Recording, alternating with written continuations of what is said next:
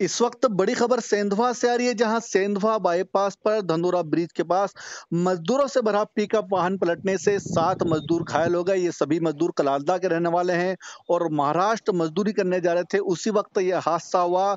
ज़्यादा अपडेट के साथ संदीप कुशवाहा हमारे साथ फोनलाइन पर मौजूद हैं। संदीप, क्या है पूरा मामला?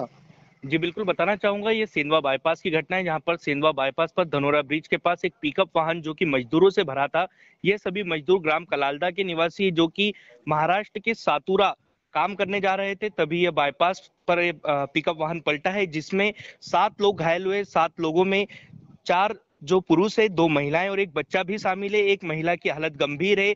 सभी घायलों को हाईवे एंबुलेंस से सेंधवा सिविल अस्पताल लाया गया है, जहाँ अभी सभी का प्राथमिक उपचार किया जा रहा है। एक महिला की हालत गंभीर बनी हुई है। जी।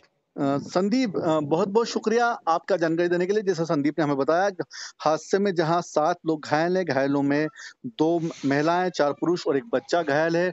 वहीं एक गंभीर जो घायल है, उसे बड़वानी जिला मुख्यालय रेफर किया जा रहा है और सभी घायलों का प्राथमिक उपचार सेनवा अस्पताल में जारी है।